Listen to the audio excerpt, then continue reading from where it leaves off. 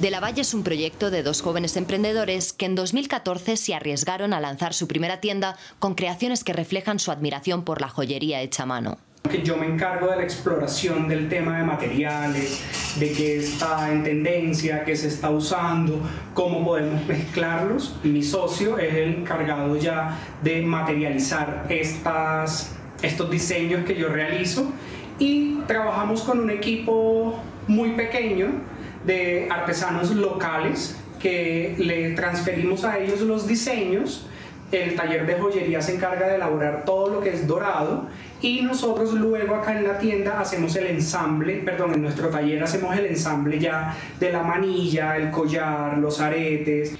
La base de sus diseños es la joyería con significado, con elementos de diversas culturas y religiones que forman parte de sus creaciones. Inicialmente De La Valle nació como una marca de joyería con significado. Nosotros fuimos tomando elementos de ciertas culturas, religiones, movimientos y transformábamos esos símbolos en joyas artesanales.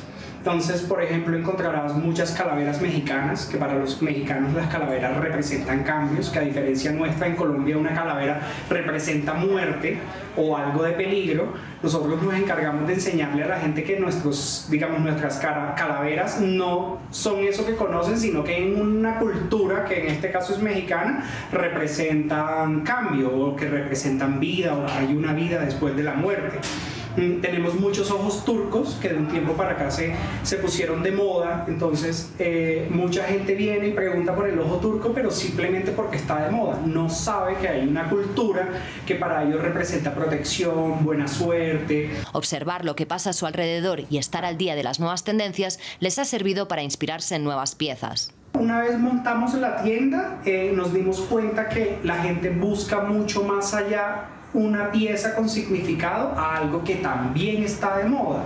Entonces ya nos tocó cambiar el, tema del significado por aportarle algo también a la moda. Entonces sacamos una línea de aretes grandes, una línea de collares de fiestas, de cosas más llamativas y digamos que lo que hacemos es seguimos explorando el tema de los significados, de todo el tema de la simbología, pero al mismo tiempo vamos viendo que está en tendencia, que está en moda, que se está usando, que están buscando nuestros clientes. Entonces hemos ido transformando un poquito el concepto de nuestra marca. Las mentes creativas detrás de estas joyas son Juan Pablo Tellez y Cristian de la Valle, quien nació en un lugar mágico llamado Aracataca, más conocido como Macondo.